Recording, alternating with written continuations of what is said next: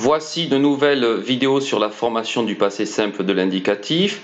Tu connais le premier groupe, le deuxième groupe, presque tout le troisième groupe à part être. Il fut, ils furent, et avoir. Il eut, ils eurent. Je te laisse mémoriser le verbe être et le verbe avoir.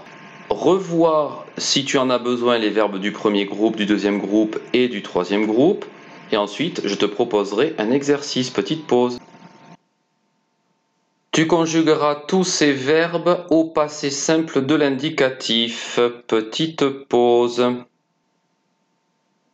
Voici l'autocorrection. Je te laisse en autonomie pour comparer ton travail à celle-ci et te donner, si tu en as envie, des points qui te permettront de savoir si tu as bien mémorisé et bien restitué la morphologie des verbes des trois groupes au passé simple de l'indicatif.